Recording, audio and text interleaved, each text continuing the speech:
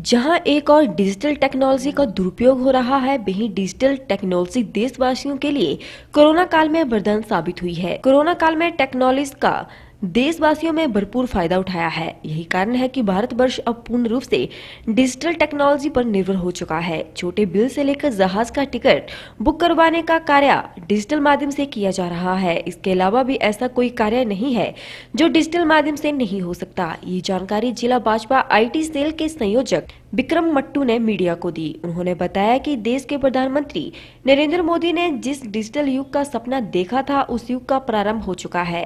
आज ज़्यादातर कार्य डिजिटल माध्यम से हो रहे हैं। जिला भाजपा आईटीआई सेल के संयोजक विक्रम मट्टू ने बताया कि कोरोना काल में जो बच्चों की शिक्षा पूर्ण रूप से ठप हो चुकी थी, तब केवल डिजिटल माध्यम से ही उन्हें शिक्षा देना संभव हो पाया। उन्होंने कहा कि आज छोटे से छोटा कार्य भी डिजिटल माध्यम से किया जा रहा है। यहाँ तक कि निम्न स्तर से लेकर एक शीर्ष का व्यापार भी डिजिटल माध्यम से किया जा रहा है। सोशल मीडिया के माध्यम से वर्चुअल दुकानें चल रही हैं, जिसकी वजह से व्यापार की कोई सीमाएँ नहीं रह गई हैं। कोई भी व्यक्ति किसी भी तरह की जानकारी और उत्पाद खरीद या बेच सकता है।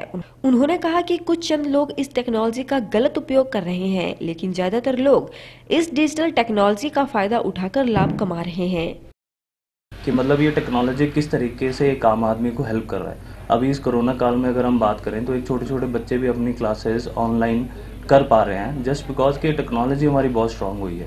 टेक्नोलॉजी में अगर हम ये सोशल मीडिया का प्लेटफॉर्म देखते हैं तो मतलब फेसबुक ट्विटर इंस्टाग्राम ये एक ऐसी हैपनिंग चीज़ें हैं जिसके थ्रू हम लोग अपना बिज़नेस भी चला सकते हैं।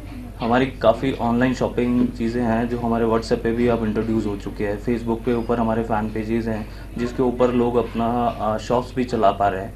ट्विटर हमारी एक ऐसी चीज़ है, जिसका जो रीच है, वो मिलियंस ऑफ़ पीपल्स के around within a second पहुँचने में वो कामयाब होता है।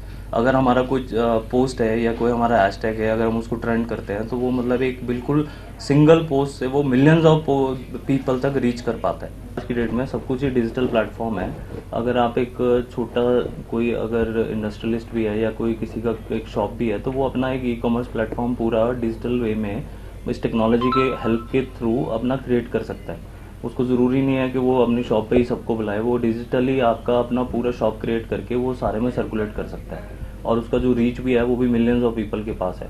अगर कोई अपना नया नया एक शॉप चलाना चाहता है, मान लो कोई कपड़ों का गारमेंट्स है स्टोर है, या कोई इसी तरह की चीज़ है, या कोई यूटेंसिल्स का मान लो कोई फैक्ट्री ओपन कर रहा है तो वो अपने जितने भी प्रोडक्ट्स है, वो ऑनलाइन डिस्प्ले कर सकता है। उसके लिए जो मीडियम मान लो यूज़ होते हैं तो वो बेसिकली अगर वो वेबसाइट है उसके पास तो वेबसाइट का रीच जो है वो वर्ल्ड वाइड होता है। इसीलिए वो डब्ल्यू डब्ल्यू डब्ल्यू का वर्ड फ्रेज यूज़ होता है। उसके अलावा जो सोशल मीडिया के प्लेटफॉर्म्स हैं हमारे, अगर मान लो हम फेसबुक की बात करें, हमारा अपना फ़ैन पेज होता है उसके ऊपर। हम फ़ैन पेज को यूज़ करके अपना बिज़नेस प्रमोट कर सकते हैं। अभी रिसेंटली व्हाट्सएप ने भी आपको एक, नया फीचर दिया है कि आप अपना एक ऑनलाइन स्टोर व्हाट्सएप के माध्यम से ओपन करके उसके ऊपर आप बिज़नेस कर सकते हैं।